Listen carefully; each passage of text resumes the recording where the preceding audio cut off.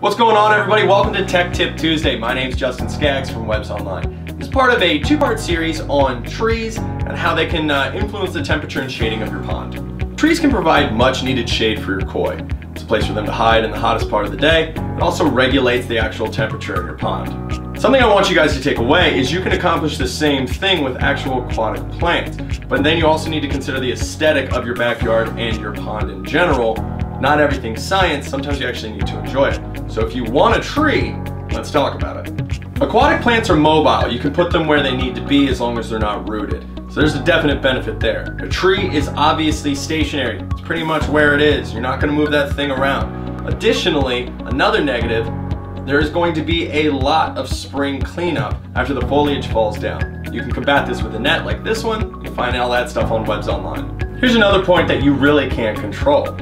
Takes a lot of time to make a tree. I know, tell me about it. Big, big brain buster there on Tech Tip this week. But what I mean by that is this. You're gonna have to speak to your arborist and make sure that this tree can actually survive in the ecosystem you're introducing it into. And then also, if you're trying to put in a tree that's gonna immediately give your pond all this shade, it's not likely you're gonna be able to find one that's old enough. A 40 foot tall tree is not going to come on a truck bed and get installed. That's something you may have wanted to consider, you know, putting a pond near a tree of that kind when you moved in, but if your property doesn't have it to begin with, you're not gonna magically get it. So again, that is another issue. This is much more of a forward thinking, long-term thing. In 10, 15 years, is this going to provide shade for this pond? Do you even want this pond to look the way it does in 10, 15 years? Consider all this moving forward before you call your arborist and actually, you know, introduce a new life into the ecosystem that you've built. Make sure you guys come back next week for part two.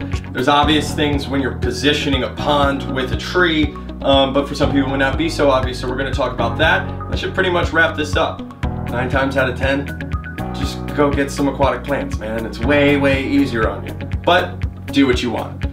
Till next time, guys, I want to hear your tech tip questions, concerns, and you can always email those things to Joe at Webb's Online. Dave knows everything.